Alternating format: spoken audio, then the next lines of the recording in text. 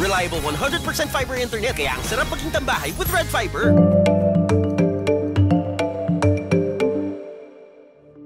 Ilocos Norte 1st District Representative Ferdinand Alexander Sandro Marcos is announced as a Senior Deputy Majority Leader during regular session on Tuesday, July 26. This, a day after Congress welcomes his father, President Ferdinand Marcos Jr., to deliver the State of the Nation address before legislators. The House also elected as its House Speaker 1st District Representative Martin Romualdez, President Marcos's first cousin and Representative Marcos's uncle. Representative Marcos, 28, is a first time member of the House. He occupies a post that was previously held by former Cavite Representative Crispin Remulla, who is now President Marcos's Justice Secretary. Sandro, at the time Remulla was Senior Deputy Majority Leader, was a member of his uncle's legislative staff. As Senior Deputy House Leader, Representative Marcos is also Vice Chairman of the Powerful Rules Committee. He can determine the 19th Congress's House rules as well as the procedures in various inquiries. Rappler CEO and Nobel Peace Prize winner Maria Ressa challenges the cyber libel conviction by the Philippine Court of Appeals, citing 11 errors in judgment. Ressa, together with her co-accused former Rappler researcher Reynaldo Santos Jr., asked the Court of Appeals to reconsider its judgment that upheld the Manila court's decision convicting them of cyber libel.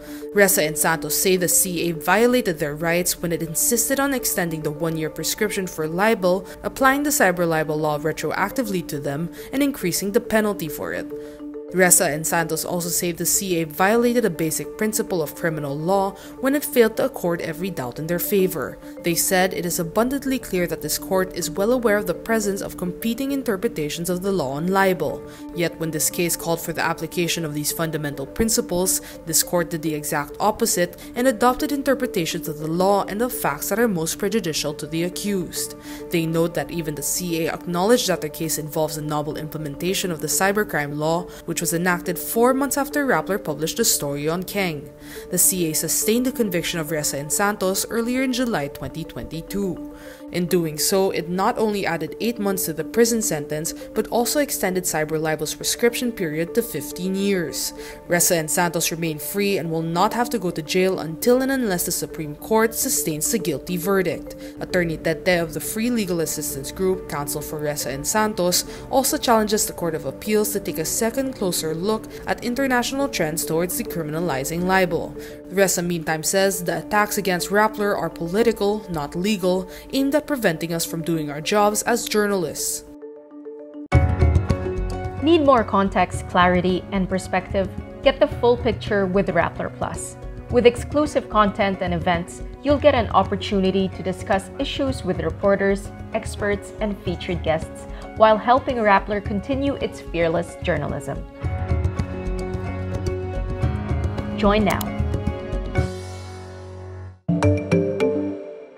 President Ferdinand Marcos Jr. excludes issues on human rights, justice, and peace in his first State of the Nation address on Monday, July 25. Marcos fails to mention peace and order and anti criminality measures such as the war on drugs, which is former President Rodrigo Duterte's pet project. Cristina Palabay, Secretary General of Human Rights Group Karapatan, also notes how there is zero mention of press freedom, disinformation, death penalty, and failed domestic accountability mechanisms. Meantime, in a live panel discussion after the Persona, Rappler editor at large Marites Vitug also points out the ironies or contradictions in Marcos's speech. For instance, though Marcos talks about healthcare, Vitug notes the president does not mention the very low vaccination rates for boosters and the nursing crisis in the Philippines. Vitug also says the president stresses the importance of science-based research but has not appointed secretaries yet for the Department of Science and Technology and the Department of Health. In related news, progressive youth groups slam Marcos's push to make the reserve officers training Corps or ROTC mandatory for senior high school programs. In a joint statement Tuesday, July 26, they say, amid a crisis on student dropouts and mental health problems, Marcos's solution is to add to the burden of students by forcing them to go under ROTC. The government scrapped ROTC in 2002 when an investigation on the 2001 murder of a University of Santo Tomas student found he had exposed alleged corruption in the program. The lone suspect in the killing of three people inside the Ateneo de Manila University in Quezon City on Sunday, July 24, is a 38 year old doctor from Lamitan City, Basilan, who supports vigilante justice, spreads hate against Rodrigo Duterte's critics, and rages against the Furigay clan of Lamitan. The suspect, Chao Tiao Yumol, is a popular personality on Facebook with at least 73,881 followers as of Monday, July 25. He is closely connected to other pro Duterte bloggers, particularly Maharlika or Binibining Maharlika, who has a history of peddling fake reports. After Yumol's arrest, Maharlika shared posts defending Yumol, in effect saying that he was merely pushed to kill because of the supposed injustices that he suffered at the hands of the Furigays. Research by Rappler also shows Yumol has shown staunch support for former President Rodrigo Duterte and has attacked opposition figures. He also has had a years long conflict with the Furigay's that supposedly began over the closure of an infirmary clinic operated by Yumol.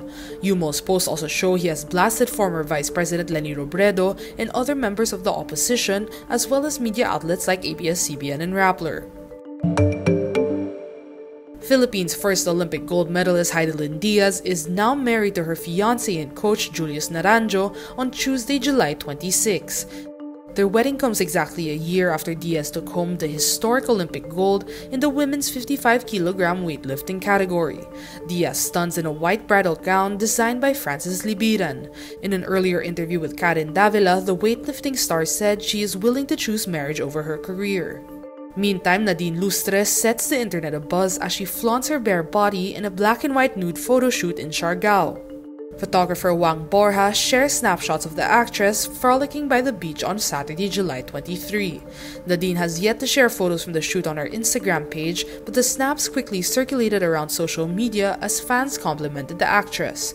Nadine made her movie comeback in March with the horror thriller film Greed.